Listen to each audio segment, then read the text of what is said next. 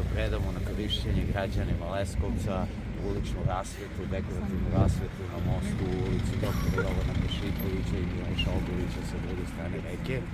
Leskovac ima sedam mostova, pet je kombinovanih kolsko-pešačkih, dva su samo pešačka mosta i ova gradska vlast radi na tome da svi mostovi u Leskovcu budu osvetljeni i to iz više razloga. Značaj projekta je više struk, pre svega zbog bezbednosti građana koji koriste i prelaze preko ovih mostova, jer mostovi su tu da spajaju obale i da spajaju ljude. Ovo je jedna vrlo prometna saobraćajnica i pravac koji spaja jugoistočni deo grada, teritorije grada Leskovca sa severozapadom. E, preko ovog mosta dnevno prolazi više hiljada vozila i više hiljada građana. E, takođe je vrlo značajno što se ovde u okruženju iza nas nalazi jedan vrtić, tu je osnovna škola Svetozar Marković, dečji dispanzer, muzička škola, zavod za javno zdravlje i veliki broj građana ovde svakog dana prolazi preko ovog mosta.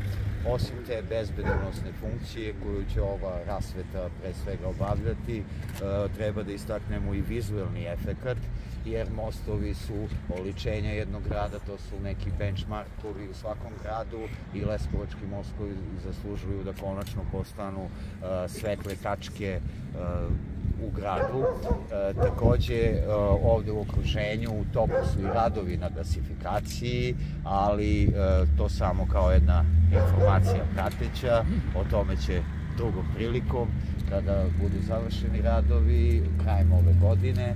Investitor je Jugoros Gas, u dužini, postavlja se mreža u dužini 7,7 km, do sada je urađeno 2,3 km i vrednost je oko 450 vrednost radova oko 450.000 evra.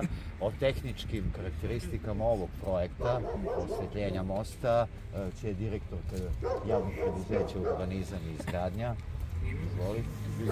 Prednosti svih učesnika u saobraćaju. Grad Leskovac ulaže ne samo u putnu infrastrukturu, nego i u putne objekte i opremu.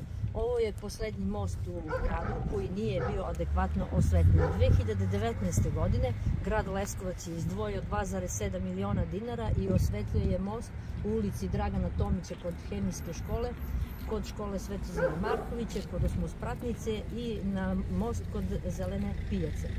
Ono što je projektom ovde bilo predviđeno, to je urađeno. Urađene su dve betonske stope sa ankerima za postavljanje stubova, dok je, za dva stuba, dok je jedan stub postavljen direktno na konstrukciju ankerisanja. Kablovi između stubova postavljeni su u takozvanim regalima radi zaštite i taj, ti regali su postavljeni na konstrukciju mosta.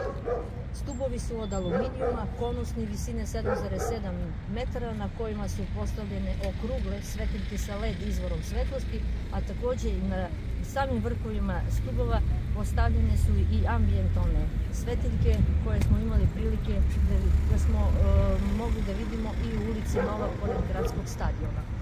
Izvođač radova je preduzeće Lux iz Leskovca, vrednost radova je 975.000 dinara, a investitor ovih radova je grad Leskovac. Napajanje ovog osvetljenja izvršeno je na postojeću niskonaponskom mrežu od, pored, na samom stubu pored mosta. Znači za lokalni razvoj u gradskoj upravi i u kabinetu gradonačelnika. Znači vi ste novo lice u kabinetu gradonačelnika? Tako je. A vaše ime? Novo staro lice. Novo staro lice. Vaše ime? Vladimir Kostić.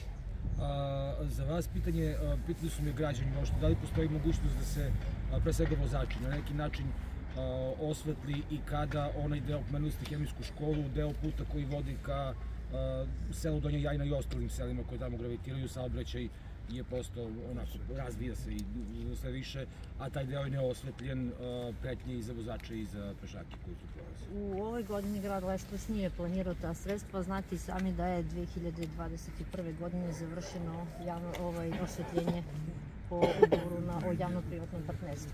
Znači svako proširenje mreže je, iziskuje neki ugovor i proš, razgovor sa njim. Znači mora uh, javno